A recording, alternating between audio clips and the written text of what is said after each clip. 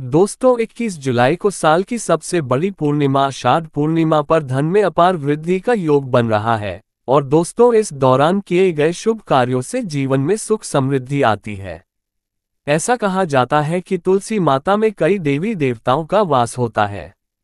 अषाढ़ पूर्णिमा के दिन तुलसी माता की पूजा की जाए तो व्यक्ति की सभी आर्थिक, मानसिक और घरेलू समस्याओं का निदान हो जाता है।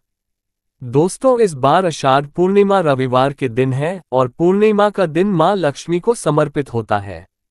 रविवारी पूर्णिमा के दिन विष्णु भगवान के साथ माँ लक्ष्मी की पूजा भी करते हैं क्योंकि इस दिन की गई पूजा कई गुना का फल मिलता है।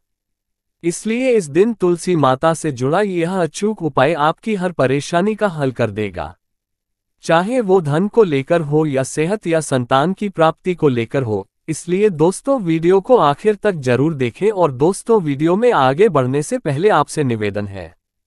वीडियो लाइक करना मत भूलिएगा और साथ ही हमारे चैनल को सब्सक्राइब ज़रूर कर ले। तो इस वीडियो को लाइक करके कमेंट में जय श्री हरि विष्णु, जय माँ लक्ष्मी लिखना ना भूले। दोस्तों इस दिन पूजा, व्रत, दान आदि धार्मिक कार्य करने वालों पर लक्ष्मी नारायण की कृपा बरसेगी। दोस्तों अषाढ़ मास की पूर्णिमा को गुरु पूर्णिमा कहते हैं। इस दिन दान पुण्य का विशेष महत्व होता है।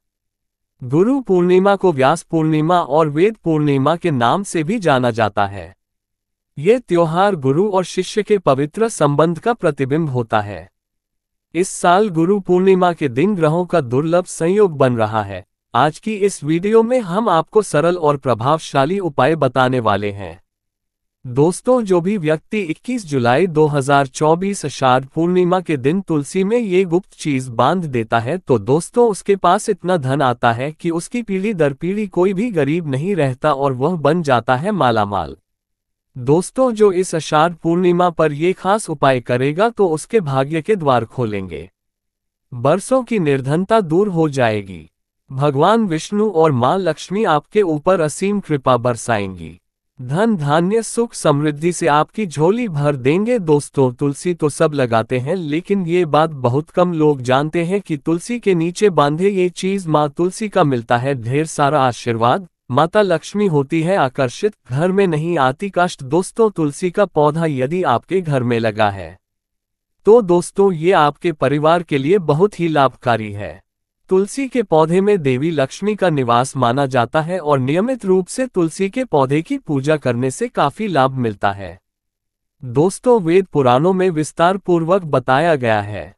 लेकिन इसी के साथ में क्या आप ये बात जानते हैं कि तुलसी के नीचे ये चीज़ बांधने पर मिलता है आशीर्वाद और आपको वह सारी खुशियाँ मिल जाती है जिसके आप हकदार हैं? लेकिन दोस्तों, तुलसी के नीचे ये चीज़ बांधना भी है, ज़रूरी दोस्तों, आगे बढ़ने से पहले आपसे एक विनती है कि आप हमारे चैनल को सब्सक्राइब ज़रूर कर ले, ताकि हर प्रकार की आध्यात्मिक जानकारी हमेशा आपको प्राप्त होती रहे और माँ तुलसी के लिए भी एक लायक तो बनता है।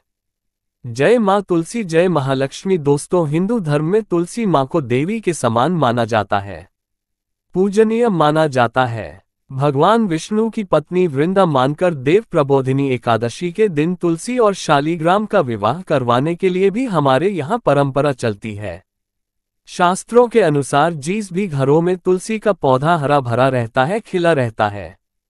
उस घर में सुख, शांति और समृद्धि निवास करती है। भगवान विष्णु की पूजा और प्रसाद में भी तुलसी पत्ता होना सबसे ज़रूरी माना जाता है, क्योंकि इनके बिना पूजा अपूर्ण मानी जाती है। इसी कारण से सभी हिंदू परिवारों में तुलसी का पौधा ज़रूर होता है। यदि दोस्तों आपके घर में भी तुलसी है तो सुख, शांति और समृद्धि के लिए तुलसी माँ को लाल चुनरी अवश्य से चढ़ानी चाहिए। अक्सर लोग जाने अनजाने में कई बार ऐसी गलतियाँ कर देते हैं। वह लोग तुलसी का पौधा तो लगा देते हैं लेकिन माता रानी को चुनरी नहीं चढ़ाते हैं जिसके कारण वर्ष उन्हें अच्छे फलों की प्राप्ति नहीं हो पाती है। हमेशा इस बात को ध्यान रखें कि माता रानी को चुनरी अवश्य से चढ़ाना चाहिए। तुलसी न केवल एक पौधा है, बल्कि यह हमारी माँ है। आपको दोस्तों ये भी बता दे कि तुलसी को चुनरी उड़ाकर रखा जाता है, लेकिन इस बात का विशेष ध्यान बहुत कम लोग ही रख पाते हैं। वो ये भी गलतियाँ करते हैं कि तुलसी की चुनरी यदि काफ़ी पुरानी हो जाती है वह फट भी जाती है, लेकिन पूर्णिमा या फिर अन्य किसी शुभ दिवस पर ही तुलसी की चुनरी लोग बदल देते हैं, लेकिन आपको न केवल त्योहारों पर चुनरी बदलनी चाहिए, बल्कि साफ़ सुथरी चुनरी माँ तुलसी को हमेशा लाना चाहिए। बगैर चुनरी के माँ अच्छी नहीं लगती। वह तुलसी माँ बेहद नाराज़ हो जाती है और आपको फलों की प्राप्ति नहीं होती है।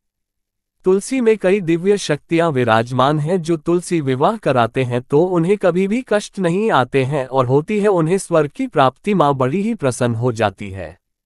दोस्तों, यदि आपके पास में चुनरी नहीं है तो माँ तुलसी को ये बारी चुनरी आप उड़ा सकते हैं जो नॉर्मली आप कंचकों को भी उड़ाते हैं। दोस्तों, लेकिन आपको बता दें कि खाली पौधा कभी भी घर में न लगाएँ।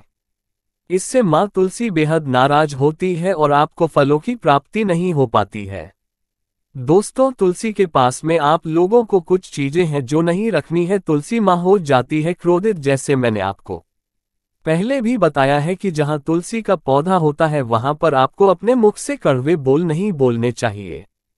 इसके आसपास जूते, चप्पल झाड़ू पोछा रखना भी बहुत पाप माना जाता है। तुलसी के आसपास थूकना भी घोर अनर्थ पाप माना जाता है। पौधे में शिवलिंग और गणेश जी की प्रतिमा बिल्कुल नहीं रखनी चाहिए। तुलसी में कोई अन्य पौधा नहीं लगाना चाहिए। तुलसी का पौधा जहाँ पर भी हो, वहाँ पर सदैव साफ़ सफ़ाई होना अनिवार्य होती है। तुलसी के पास कपड़े नहीं सुखाना चाहिए। तुलसी का पत्ता नाखून से नहीं तोड़ना चाहिए। माता क्रोधित हो जाती है, तुलसी के पत्ते सूखकर गिर जाते हैं। उन्हें कूड़े में नहीं डालना चाहिए, पानी में भी या फिर मिट्टी में उसे दबा देना चाहिए। तुलसी का पत्र रविवार को नहीं तोड़ना चाहिए और न ही रविवार की पूजा करनी चाहिए। दोस्तों, तुलसी में सुबह शाम पूजा करना चाहिए और शाम के वक्त दीपक जला देना चाहिए। दोस्तों, कुछ विशेष सावधानियाँ हैं जो आपको तुलसी को जल देते समय रखनी चाहिए। भूल करके भी तुलसी में ऐसा जल कभी मत चढ़ाना, पूरा घर बर्बाद हो जाता है। आइए जानते हैं कि तुलसी में कौन सा जल डालना चाहिए और कौन सा नहीं। साथ ही ये भी जानेंगे कि घर में कौन सी तुलसी नहीं लगानी चाहिए और कौन सी लगाना बहुत शुभ माना जाता है। दोस्तों, आगे बढ़ने से पहले हमारे चैनल को सब्सक्राइब करके एक बेल आइकॉन को प्रेस ज़रूर करिएगा और सच्चे दिल से कमेंट बॉक्स में लिख दे। जेमा तुलसी, दोस्तों, शास्त्रों के अनुसार तुलसी में गंदा पानी बिल्कुल नहीं डालना चाहिए। पानी कोई भी हो साफ़ होना चाहिए।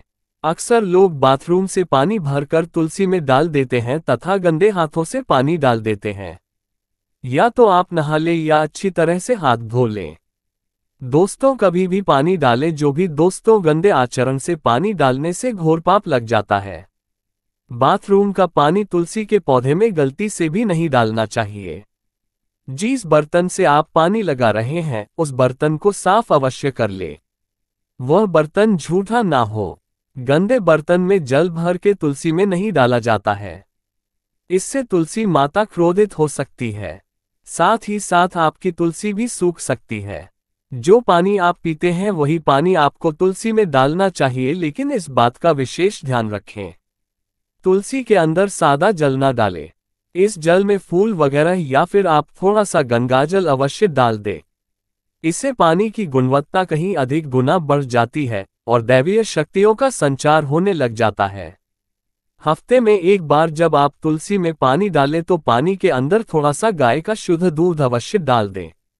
इससे आपकी तुलसी हरी भरी हो जाएगी और तुलसी में दूध डालने से भी बहुत ही इससे शुभ माना गया है। इससे आपके सभी बिगड़े कार्य बनने लगेंगे। तुलसी में गाय का दूध पानी में मिलाकर डालने से घर में खुशियाँ आती है। तुलसी हरी भरी हो जाती है। मासिक धर्म में आपको तुलसी के अंदर पानी नहीं डालना चाहिए। वैसे समय में आप किसी और से पानी डलवा सकते हैं, लेकिन आप ना डालें ऐसा करने पर तुलसी सूख सकती है। दोस्तों शास्त्रों के अनुसार जब आप अपने घर में तुलसी लगाएँ तो गंदी तुलसी ना लगाएँ। सड़ी गंदी मिट्टी नहीं होनी चाहिए। काली मिट्टी नहीं होनी चाहिए। एकदम साफ़ होनी चाहिए। तुलसी की मिट्टी से कंकर पत्थर हटा देना चाहिए। तुलसी की मिट्टी में कचरा नहीं होना चाहिए। इससे आपको पाप लग सकता है। तुलसी की मिट्टी साफ़ करते रहिए। तुलसी के अंदर शालीग्राम की प्रतिमा ही रखनी चाहिए। शिवजी की मूर्ति, गणेश जी की मूर्ति या फिर किसी भी देवी देवता की मूर्ति तुलसी के अंदर नहीं लगना चाहिए और दोस्तों यही वह कारण है। जिस वजह से शिव जी की जब पूजा होती है। सावनों में तो बेलपत्र तो चढ़ाया जाता है, लेकिन तुलसी बिल्कुल नहीं चढ़ाई जाती है। दोस्तों, बता दे, इससे आपको घोर पाप लग सकता है।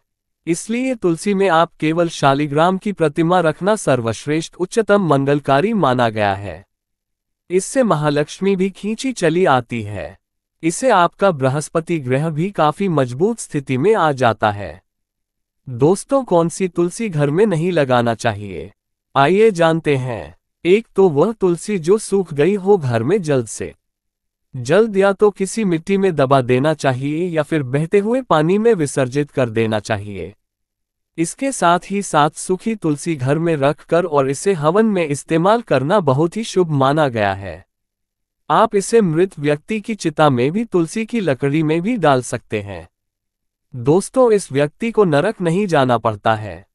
तुलसी पाँच प्रकार की होती है, रामा तुलसी, श्यामा तुलसी, विष्णु तुलसी, नीली तुलसी और बंद तुलसी। लेकिन शास्त्रों के अनुसार हमारा घर में केवल रामा तुलसी और श्यामा तुलसी ही लगाई जाती है। इसे बहुत ही शुभ मंगलकारी माना जाता है। राम तुलसी और श्याम तुलसी के अलावा और किसी भी प्रकार की तुलसी घर में रखना उचित नहीं माना जाता है। यदि हम अपने घर की बात करें तो हमारे घर में श्याम तुलसी और राम तुलसी ही लगी हुई है। इसे बड़ा ही शुभ माना गया है।